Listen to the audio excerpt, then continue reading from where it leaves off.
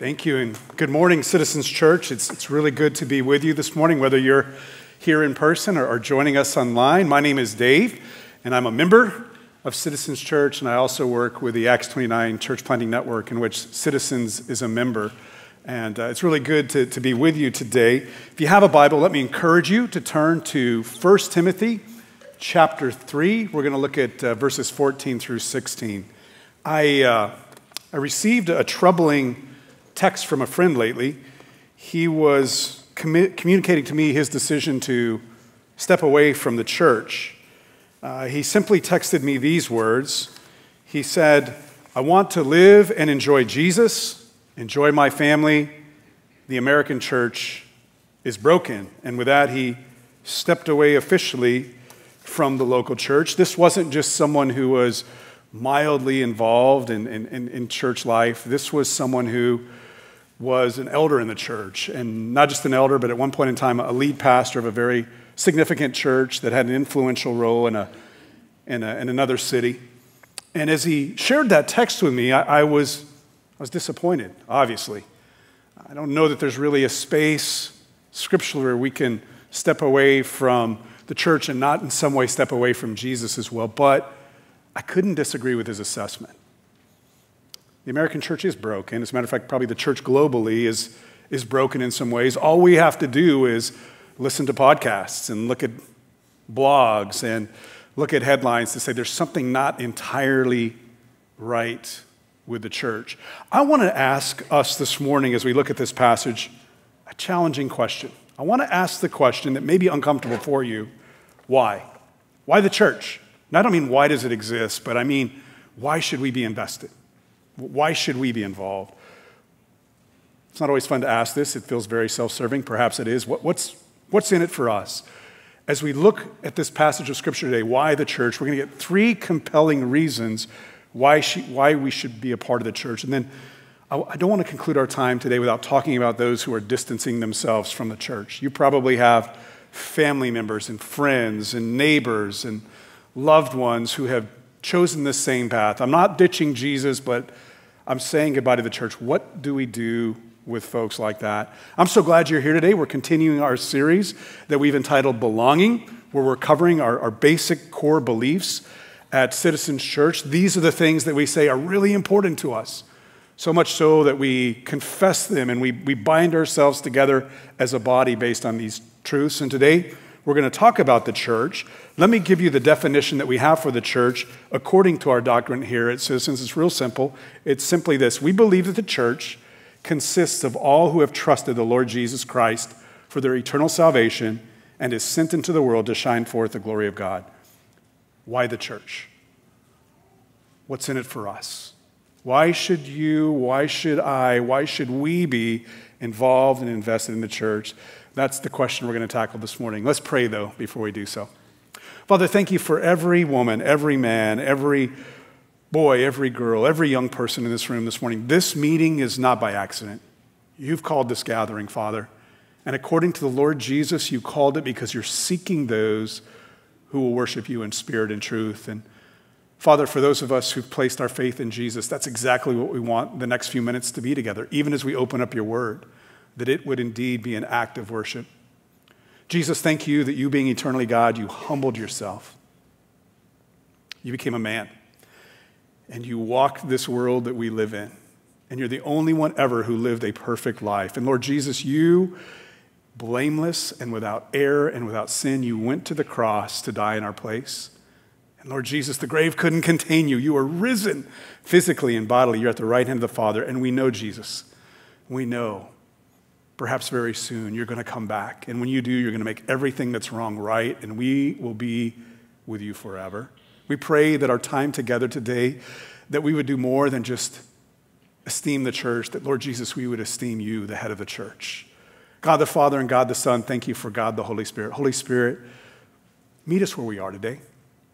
I pray for those who are devoted to the church that they would be encouraged. I pray for those that are slowly distancing themselves from the church, they would be exhorted.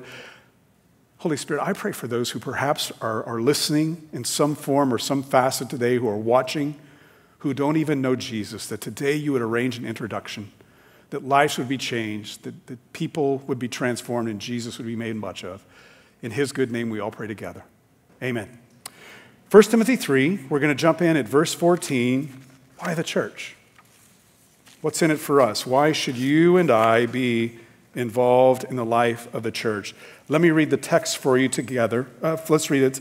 I'll read it for you. You, you follow along. I'll read it. 1 Timothy 3:14.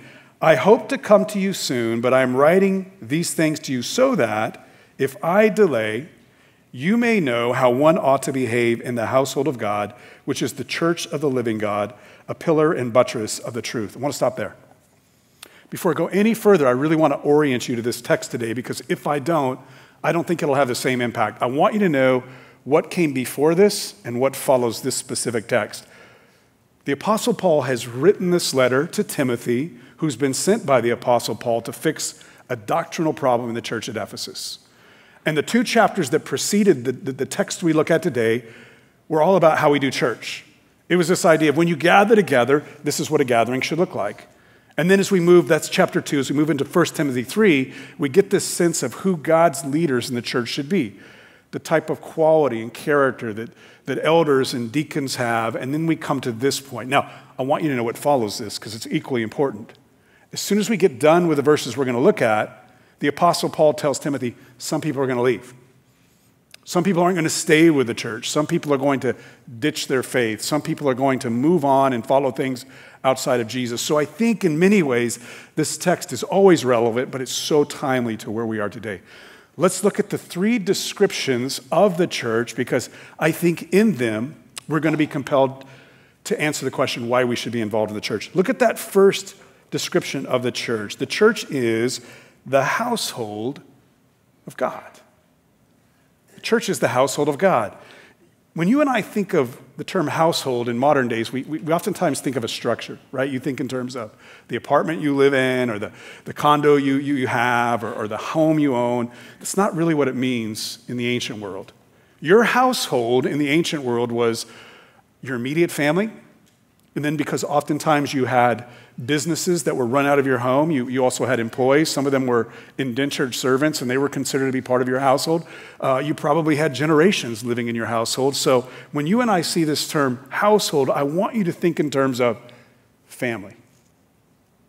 Now, look at the text again. To whom does this family, this household, belong to? They are of whom? God. What a beautiful picture of the church. As a matter of fact, of all the images that we get of the church in the Bible, that's my favorite. We're a family. I love family. We're a family. We're a great big family that consists of everyone everywhere who professes the name of Jesus. We're a family. Here's if you're taking notes, here's there's going to be three points because all sermons have to have three points. Here's point 1. Why the church? Here's why. As the church, we live as God's people. We're his family. You're my sister. I'm your brother. God is our father. And he's not like our earthly fathers because he perfectly loves us and he perfectly accepts us on the basis of what Jesus has done and who he is. Jesus is our big brother. He's the first of, of many, and we've been adopted in, and we're one big family. And as any family desires to do that wants to be a healthy family, we want to do life together. Maybe you're thinking about your own family today. Maybe you're thinking about starting a family. I know some of you perhaps aren't married yet. Maybe you're married and you don't have children. When you think of your family, no one ever thinks or dreams of her family, his family, and says, You know, I hope we're disconnected someday. I really hope we don't spend a lot of time together. I'd hate for us to gather together around meals. I really don't think it's important that we get together on a weekly basis. When you and I dream of our families, or we pray for our existing families, what do we want? We want close relationships in which we do life together. As the church, we live as God's people. You're a part of a family. Um, this December will be 35 years of being married to my lovely wife, Kara. It's been nothing but wonderful for me, and it's been nothing but struggle for her, but here we are. And uh, I think back all the time on the week we got married. So we were students at Texas Tech University, Wreck 'em. Yeah, thank you. Guns up. Appreciate that. First service wasn't quite as enthusiastic, so I guess Red Raiders sleep in or something. I don't know what it is, but I'm glad to hear that. And uh, uh, fall term ended. We had a few days before we were to get married, First Baptist Church, Lubbock, Texas. My parents had come into town, Kara's parents had come into town, planning the wedding. Grandparents had come, some close family relatives came into town. And then, uh, what often is the case in West Texas in December, a blue norther blows through and dumps a bunch of snow, and there's blizzard like conditions, and we get confined to the luxurious hotel, Embassy Suites, in Lubbock, Texas, for a week. And there's nothing to do but to hang out and tell stories and play games and tell more stories and eat whatever we can scrounge together and tell more stories. And I got to tell you, it was awesome. I loved it. And I began to realize what was going to happen as we got married. Not only were two people committing the rest of their lives together, and God was making a union of two, I wasn't just committing the rest of my life to Kara, God was bringing two families together. Do you see that's what happened when you came to faith in Jesus? One of the beautiful pictures we get in Scripture is when, when, we are, when we are brought into a faith relationship with God through Jesus, we have union with Jesus. We are connected to Him. He abides in us through the Holy Spirit. His life is our life. His death, our death. His resurrection someday will be our resurrection too. But we're not only united just with Jesus, we're brought into His family. You're not alone today. As a matter of fact, anywhere you go on the face of the earth, you're going to have family. As the church, we live as God's people. Let me ask you a question this morning that's pertinent. Are you engaging with God's people? Are you engaging with God's people? When, we talk about Citizens Church and we, think about spiritual formation, and that's different language for saying what we want to do in our relationship with Jesus. We want to grow together to be as mature as we possibly can be in Jesus. There's three realms of spiritual formation. One of them is communities. Are you invested in a community here at Citizens Church? Do you have a home group? Are you involved with the young adults? Are you involved in student ministry? Are you involved in any way that you are spending regular time with your family doing life together as God's people? Doesn't have to be formally also, only. Are you informal? Do you get together over meals? Do you pray together? Do you hang out together? Are you engaging with God's people? As the church, we live as God's people. Let's look at the second picture we have here. Not only are we the household of God, we are the church of a living God. I want to explain what that means. This idea of the church in ancient times was the idea of an assembly or, or, or, a subgroup of people being called together specifically to gather together. It's this picture that we get in the Bible that God is making for himself a people from all tongues, all tribes, all nations, all walks of life. And ultimately, at the end of the day, God is doing that so that he might be among them. We see that in Genesis, don't we? As God created Adam and Eve, he walked with them, he created them to be in relationship with him as the book of Revelation closes, we see that all those uh, that are left with God are enjoying Him forever, and God will be their God and will dwell among them. So we're a gathering. We're a people that are called out, that are brought together, that are assembling. And we're assembling for the sake of, according to this text, the living God. Whenever you see that language in Scripture, I want you to think in terms of a God who is personable. He's not He's not detached from us. He's not distant. He's not merely looking on to see what will happen. He is actively, personally engaged with us. He's active, and guess what? More than anything else, He's present. Did you think about that when you came in this morning? It blows my mind every time I think about it, and I try to think about it before we begin. Sometimes I do better than others. God is with us. Think about that. When we come together here today, it's not just us, although that's great, it's us, and the very presence of God is among us. Second thing I want you to see as to why the church. Why? Why? why? What's in it for us? Why? Why should we be invested and involved in the church? Here's the second thing I want you to see. As the church, we live in God's presence. As the church, we live in God's presence. In other words, what the Bible teaches is we come together formally as the church, God is present with us in a way that's unique, in a way that's distinct, in a way that's powerful, more so than it was just you and I meeting alone with God. Now, God is always present with us. As a matter of fact, God is present everywhere. God indwells every believer through the person of God the Holy Spirit. But when we come together, the presence of God is manifest in ways that are unique and different and wonderful and exciting and energizing and incredible. Amen? Now, I want to be really careful what I say next because I know some of you are only able to join us online today, and I'm so grateful that you're with us. I don't know about you. I hated the live stream. Anybody else?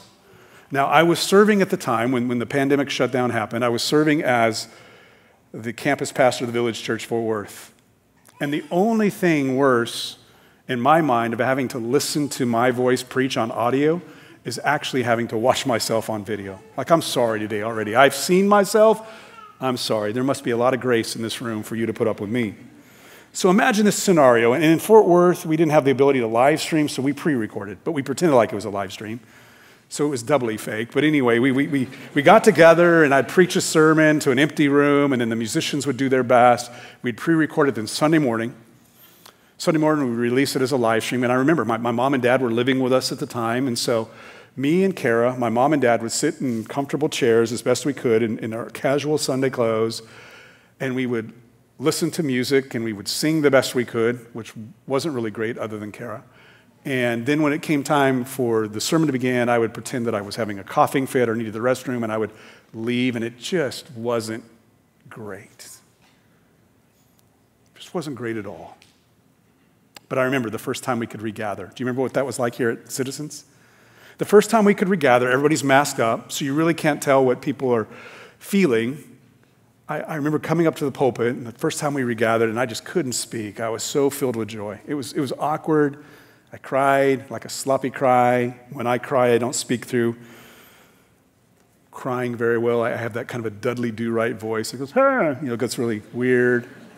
But as I looked across the faces in the room, smiles, remember how we learned to smile with our eyes during the COVID? Like, I'm smiling, I'm really happy. Tears, incredible joy. Why is that? Because in the presence of God, what we feel more often than not is not just awe, but a sense of what? He's our God. He loves us. He created us for the very purpose that He might be with us, that we might worship Him and enjoy Him forever. And guess what? We're with Him now, all of us together. Are you enjoying the presence of God? Are you engaging in the gatherings? Oh, I want you to be here. And I know there's good reasons. I'm not trying to be legalistic. I know there are very good reasons of why you can't be here every Sunday. I get it.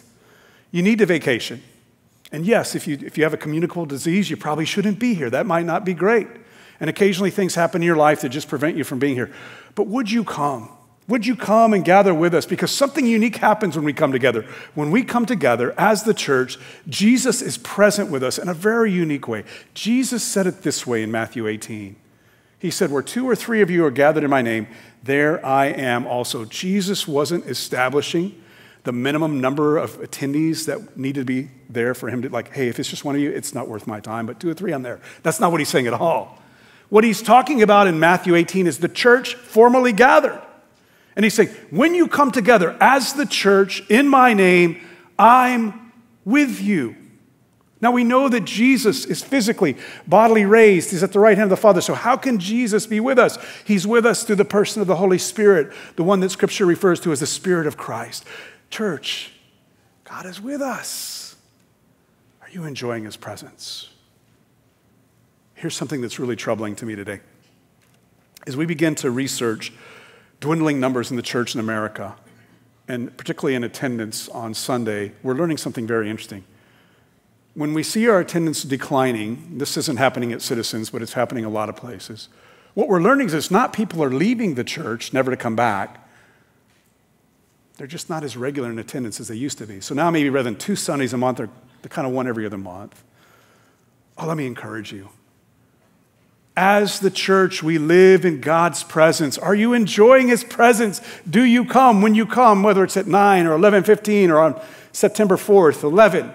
When you come, do you come with expectation? Do you come prepared? Do you come ready to experience the presence of God with the people of God? Are you ready to be joyful? Are you ready to enjoy Him? One last image we have to look at, and this one's the most difficult to figure out. We're going to move from images of people to architectural images. So, Not only as the church, uh, as the church, we live as God's people. Not only as the church do we live in God's presence. Here's the third picture we have of the church from the end of verse 15. It's a pillar and foundation or buttress of the truth. Structural language. And the idea of a pillar and a buttress or a foundation is they're supportive structures. So there's purpose in the church that we exist to support, to uphold. I like to think of it in terms of to both proclaim and practice the truth of God. The church is not the source of truth. There are traditions in Christian history that have said the church is the source of truth. We don't believe that to be true. As we've already enumerated and uh, hopefully communicated to you through this series, the truth of God is expressed through the Word of God. But the church exists to uphold, to support, to proclaim, and practice the truth of God. Here's the third thing I want you to think about. As the church, we live out God's purpose, which is being sent into a world that's void of truth, that's dark, and to live as a light, shining on the truth, supporting the truth by proclaiming and practicing the truth. As the church, we live out God's purpose.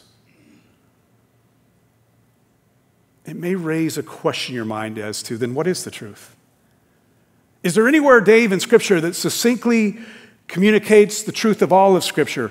Well, I'm glad you asked that because I think it's in this little chorus that follows. Look at this. This is amazing. Go back, if you will, to 1 Timothy 3:15. I don't know if this was a hymn they sing in the early church or a poem that they all memorized. I don't know if it was on the, the walls of children's ministry. I don't know what it was, but it was important to them, and listen to it. It's all about Jesus. Great indeed, we confess, is the mystery of godliness. Mystery in the Bible doesn't mean something that we'll never understand, it means something that was previously hidden that's now been revealed. And what Paul is saying here is the things that were previously misunderstood or weren't seen have been fulfilled in Jesus. And here's what we believe about Jesus. Ready? Jesus, he was manifested in the flesh, vindicated by the Spirit, seen by angels, proclaimed among the nations, believed on in the world, taken up in glory. The summary of the truth that we exist to proclaim and to practice is all about Jesus. That's the very essence of the Bible. The Bible is not a thousand principles to live by, it's one person to live for. His name is Jesus. And we see three dimensions to the ministry of Jesus that are critically important here. First, we see what we call his incarnation. Jesus came in the flesh. That's amazing. We, we don't worship a God who's detached from us. We don't worship a God who's distant from us. We don't, uh, we don't worship a God who understands us in principle, but not practically. We worship a God who walked among us. According to Scripture, who was like us in every way, except the most significant way he was different, he was without sin. Jesus was manifested in the flesh. Guess what? The news gets even better. He was vindicated by the Spirit. So we not only proclaim the incarnation of the Lord Jesus Christ, we proclaim his resurrection. That's what it means. It's this idea that Jesus died in our place as our substitute, offering himself up in our place, atoning for us before God the Father. And the fact that God the Father accepted Jesus' sacrifice is made evident through the resurrection of Jesus, which was carried out by God the Holy Spirit. So when we come together, we proclaim and we, we support both in the things we proclaim and the things we practice the incarnation, the resurrection of Jesus. Guess what? It gets even better. Not only that, he's ascended into glory. He's our Savior. He's our Lord. He's the King of Kings and Lord of Lords. And you and I, as the church, are sent into a world where there's way too much information and way little truth. And we get to live out God's purpose of being witnesses to Jesus. Yes, He came. He lived in the flesh and He died in your place and He's risen from the dead and He's ascended into heaven. And one day He'll come back and He'll take everything that's wrong and make it right and we will be with Him forever. We're sent with that message. We get to be light in the darkness. Now, how does that play out? What does that look like today? Let me give you one example. I came across a, a, a, uh, a study the other day, a poll. You ever see polls that sometimes just make you scratch your head and think, ah, that seems so weird to me? And then sometimes you're like, yeah, I saw that coming. This is one we all saw coming. 2,000 Americans were recently surveyed. 52% of Americans wake up every day feeling imminent danger for their own lives. 52% of us wake up every day and think, I'm in danger, like physical danger, like I may die today. If you track the demographics, if you're in the age demographic of 25 to 34, 75% of you feel like you're in imminent danger. And you don't even have to leave your home. This was true whether the person worked at home, never left their home, or, or, or rode motorcycles. Either way, people just felt this sense of, oh no, I'm in imminent danger. We live in a culture of fear. You can feel it, can't you? When you walk out these doors, you just feel it. Man, everybody's so uptight, everybody's so afraid. Do, do you realize that the truth that we serve as a, as a pillar and a foundation has the antidote for fear? Do you see that? That we have good news, that we can be reconciled with God through Jesus. And that means more than just us having a right relationship with God. There's so many promises that come with that. Let me give you an example. It's the, the phrase that we use a lot here when we talk at Citizens. We talk about enjoying God, love people. That third statement there, that third phrase, make disciples, that comes from something we call the Great Commission. I want you to see how the Great Commission is the antidote for fear. Because if we look at the make disciples piece, I want you to think of your favorite sandwich like that's the meat in the middle. But there's two slices of bread, not like cheap bread, but like homemade baked bread that, that frame the make disciples. Jesus says two things before he tells us to go into the world to make disciples. You can look at this later in Matthew 28. You know what the first thing he says is? All authority has been given to me on heaven and on earth. In other words, after Jesus was raised from the dead, before he ascended into heaven, he tells his disciples that to go out and take his message to the world all authority is mine. There's nothing that happens on heaven and earth that I don't decree, that I don't oversee, that I'm not in charge of. Wow. That's big news. Then comes the Great Commission and the second slice of bread at the bottom. You know what he says at the very end? And I'm with you forever to the end of the age. So Jesus says to us today, because of the fact that we're reconciled with him through his work, Jesus says, All authority is mine. And then he ascends into heaven and he exercises it. All authority is mine. There's nothing you're going to face in your life that isn't flow through my hands. And guess what? When it gets tough, when it gets scary, and it will, I'm with you to the end of the age. And what comes at the end of the age? He makes all things right and we're with him forever. Wow. Grew up in Albuquerque, New Mexico. I know some of you are from Albuquerque. And uh, when I was a kid, my dad owned a full service car wash. It was near Old Town Albuquerque, Old Route 66, and it was cleverly named Old Town Car Wash. And I remember one time my dad taking me through his car wash early in the morning before any cars came through and all the employees were assembled. And he held my hand and we walked through the, the, the, lane of the car wash without everything going on. And when you're a little kid, I was probably four or five at the time, like 1970, that's intimidating. Like huge brushes and hoses and soap dispensers and, and conveyor belts. And to make matters worse, his entire staff was made up of hippies. Now, I know when we think of hippies today, they're like cute and benign, like bunnies. When you're four years old, they're scary. Like the men look and smell like monsters, and the women look like pirates. So we walk into this car wash with all the machinery and all the people lined up, and my dad takes me by the hand, and we just walk through the whole thing like we're a car being washed. Can I tell you what never entered my heart? Fear. Why? Because my dad's in charge. It's car wash. He has authority over the machines and the hippies and everyone else. And he's with me. Do you see our calling? We are called into the world with a very specific purpose in mind.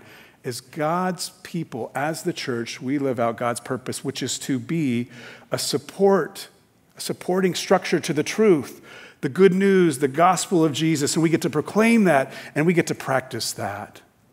Let me ask you this morning are you embracing God's purpose for your life in the church? Let me encourage you to do something very practically. There's some amazing classes that are offered here at Citizens Church. whether it's men's study, the women's study, or steps, or other courses you can take. There, there's even seminars that happen occasionally. I'm sure there's more that I don't even know about. And it's, it's really hard to be a supporter of the truth if you don't know the truth. So I want to encourage you as, as we begin to head towards fall, be involved in a class. Study. Are you embracing God's purpose? So, why the church? Three compelling reasons that I think we see from this text. As the church, we live as God's people. As the church, we live in God's presence. And as the church, we live out God's purpose. Now, what about those who are disillusioned? What about those who aren't with us today because they're distancing themselves from their faith and the church? Worse yet, what about those that are deconstructing? What do we do? I bet even as I'm sharing that with you, probably everyone in this room has someone that comes to mind immediately. True? A friend, a family member, a coworker, a neighbor, someone maybe used to be in home group with, maybe someone used to serve with in kids ministry. What do we do with folks like that? I want us to go back to this text one last time, and I want us to focus on two aspects of Jesus, because I think the best thing we can do is we can point them to Jesus. I don't think we need to defend the integrity of the church. I think instead we need to turn people towards Jesus and say, look again at him. Now, what do we do? Do we just have them read all the red letters in the Bible? No. I suggest we use this hymn and this foundation. Particularly through his incarnation, we find sympathy. And then through his resurrection and ascension, we find victory. Let me ask you a really significant question this morning. Of all the people who've ever lived on the face of the earth, who do you think is most in tune with the failure of the people of Jesus? Jesus is. And Jesus is sympathetic to those who've been wounded, hurt, and abused by the church. He gets it. It was his experience. Let me read a passage for you just to make sure, in case you don't believe me. Hebrews 4. This is who Jesus is, our great high priest. Hebrews 4, verse 14. Since then we have a great high priest who has passed through the heavens, Jesus, the Son of God. Let us hold fast our confession. Here we go. For we do not have a high priest who is unable to sympathize with our weaknesses, but one who in every respect has been tempted as we are, yet without sin. Let us then with confidence draw near to the throne of grace, that we may receive mercy and find grace to help in the time of need. Jesus knows his church is broken. He sees it. He's not blind to reality. He's not Pollyannic in his perspective. He sees that people have been wounded by his people. See, see, here's the problem with the church it's twofold. The church consists of sinners. That's problematic. Brace for the bad news. Guess who leads the church as human beings? Sinners. And so my friend says, I'm leaving the church because the church is broken. I can at least agree to him, yeah, it is broken. And for those that are hurt by the church, wounded by the church, abused by the church, struggle with the church, Jesus is sympathetic. He knows what that feels like. Let me give you a couple examples from Bible. Luke 9, you can look at this later. Luke 9 is an amazing chapter. Incredible things happen in the lives of the followers of Jesus. They see the transfiguration. One of them finally says, Hey, we know who you are. You're the Christ. Great. And then Jesus is coming down the mountain with a few of that got to participate in the transfiguration, and he encounters a man who's desperate.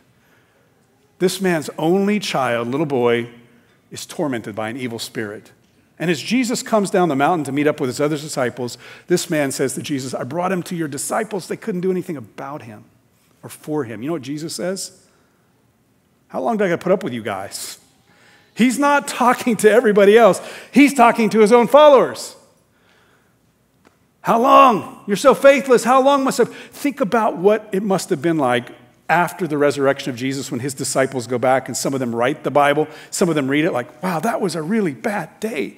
Remember that day when Jesus said, How much longer? Because he knew what was in front of him. Was Jesus in essence saying, I wish I could get to the cross sooner because this is miserable? Jesus understands. Jesus is sympathetic. Well, you might think well, that's all before the cross. After the cross, everything changed. Everything did change. But the people of God were still flawed. Case in point, look at Revelation 2 and 3 sometime. Jesus writes specific instructions to seven churches. The majority of them have significant issues that he's not pleased with. So much so that in one instance, he at least says, If you don't repent, I'm going to take away your lampstand. In other words, if you don't turn around and come back to me, then you will no longer have a witness on my behalf in this community. Jesus sees the church as it is. He loves the church perfectly, but he sees the church in her brokenness. And for those who've been wounded by the church, Jesus comes alongside you. He understands from his own experience and he's sympathetic towards you. Please hear me. I'm not justifying that we continue down the bad path as a church. There's no place in the church among leaders for those who are abusers and predators. Absolutely none. But the church is broken. The church isn't all that she will be. But here's what you need to know about Jesus that's not his only perspective.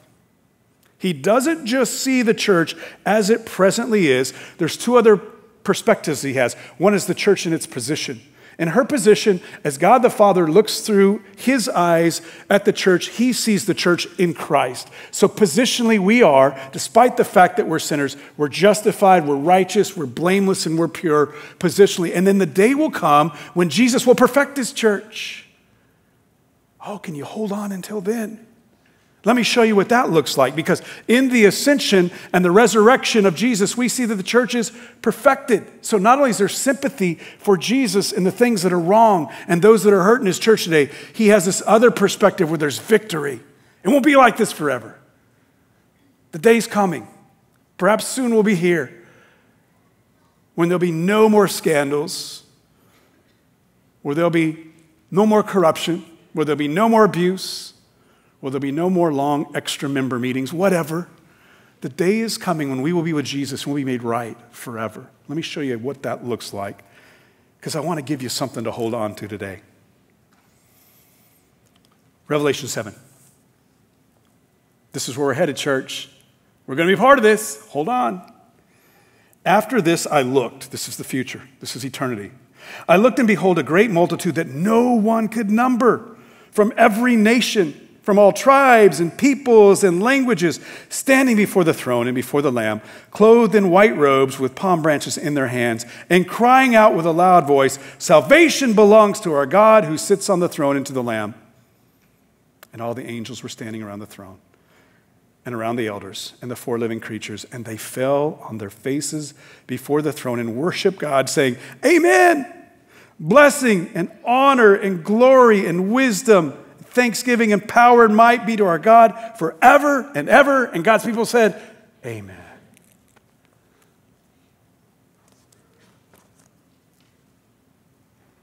There's victory in Jesus. If you're drawing away from the church, if you're disillusioned, if you're discouraged, understand that Jesus is willing to meet you in that place and to feel the things that you feel but also know that Jesus has this other perspective that I encourage you to ask that He give you. And that is, it's not done yet. The day is coming when everything that's broken will be made right and we will be with Jesus forever. And Jesus invites us all to stand firm and to hold on and to trust Him until we get there. Who's in? Something happened that perhaps was newsworthy to you this week. Maybe it wasn't. I've noticed this year in the Metroplex, not many people are paying attention to things other than the horrific drought and biblically plague of temperatures that we've had lately. But you may not have noticed something that happened outside of LA this week. The Dallas Cowboys began training camp. Now, nobody's cheering and clapping. You know why? Because we are embarking on the 27th season without a Super Bowl. 27. I've been a Cowboy fan for 50 years, a die-hard Cowboy fan. I have adult kids who have never seen the Cowboys hoist a Super Bowl trophy. Had friends from out of town, some even from Paris this week, and they asked me, Hey, we know you're an avid fan. How do you feel about the Cowboys? Nah,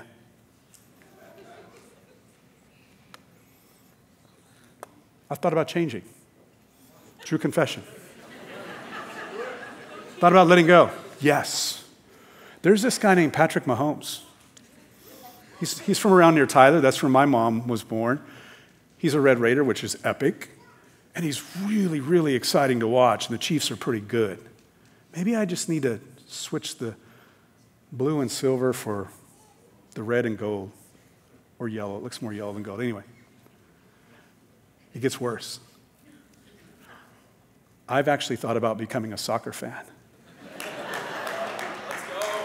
But a pastor I respect recently said, Be careful because soccer is the gateway drug to socialism. I, behalf, I, I apologize on behalf of all you soccer fans who also happen to be capitalists. But imagine this scenario. Imagine that I knew for sure, without any reasonable doubt, that within five years or 10 years, the Dallas Cowboys would become perfected. They would never lose again. No drop passes, no pre snap penalties, no missed tackles, no blown assignments, no mishaps off the field like reckless car wrecks and paternity cases, and that's just the owner we're talking about. None of those things. That they were going to win every game from here on out. They would never lose again, and every game they play would be perfect. perfect. Why would I give up now? In other words, isn't the beauty of what's going to be sometimes illuminated by the brokenness of the present? I want you to see where we're headed, church. This is our future. Someday, someday when we're made perfect, and we are going to be made perfect, someday when that happens, we're going to gather together with believers from every time, every tongue, every tribe, every ethnicity, gather around the throne of Jesus and worship Him perfectly forever. Can you hold on? For those of you who are disillusioned today, for those of you who are deconstructing, I want you to see two things in Jesus. I want you to see in Jesus you can find sympathy, but also in Jesus you can find victory. Church, that's our future. Who's in? I see that hand. Let's pray. Oh, Father, thank you that you are so good and kind to us, that you didn't leave us alone, but you have made us into a people. And then, Lord, you, instead of staying at a distance and watching your people do their thing, you've entered into our midst and you are present with us through the person of God, the Holy Spirit. Holy Spirit, we welcome you here. Let us continue to enjoy your presence. And God, you've given us a great purpose to fulfill that we would be supporting the truth, both in the things we proclaim and practice.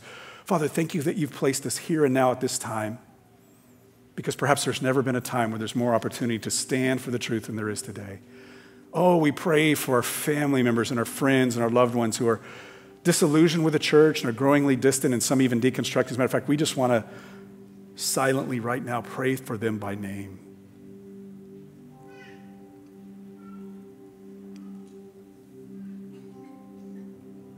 Lord Jesus, as only you can, come alongside those who are discouraged those who are distant, those who are disillusioned. Draw them back to yourself. And as you draw them to yourself, Jesus, bring them home to the family. All for your glory, we pray these things. Amen.